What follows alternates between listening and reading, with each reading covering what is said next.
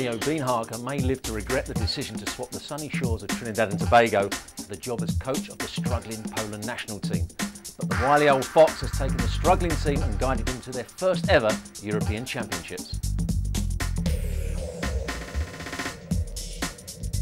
After having a poor start, it looked like the Poles' best chance of qualifying was sneaking in behind Portugal in second place. But a 2-1 win against the Portuguese in October 2006 set them up for a run that saw them qualifying ahead of Portugal with a game to spare.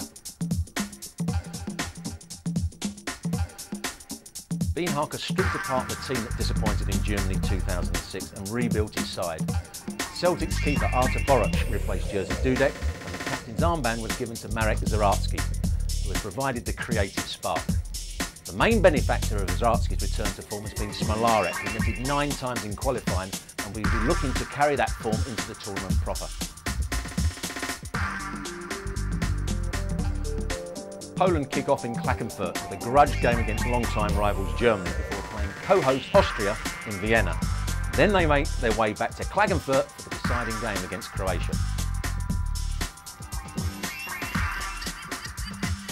Poland are a much better side than they were in the 2006 World Cup, but I still think they're going to struggle to qualify.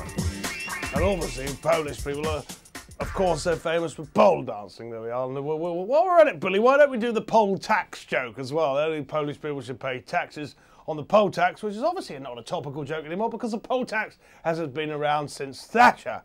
And uh, you remember that old lady with the iron knickers. But um, let's have a look at the Polish and what they will have written on their bus, their sponsored bus, will be Poland, because only sport and good fun counts. Oh, and if you don't like that, get yourself to England. They've got free healthcare.